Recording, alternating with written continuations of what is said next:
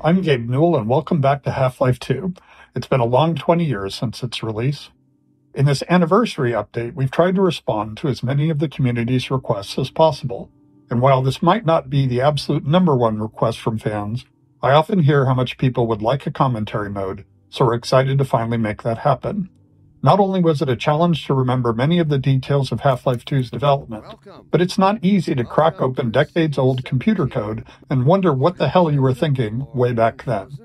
Along with the dev commentary, we've cleaned up a bunch of old bugs and tried to leave things in a better shape than we found them.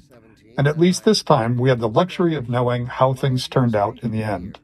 To listen to a commentary node, put your crosshair over the floating commentary symbol and press your use key.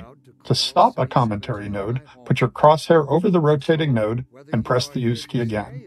And please let me know what you think. You can reach me at gaben at valvesoftware.com. Thanks, and have fun.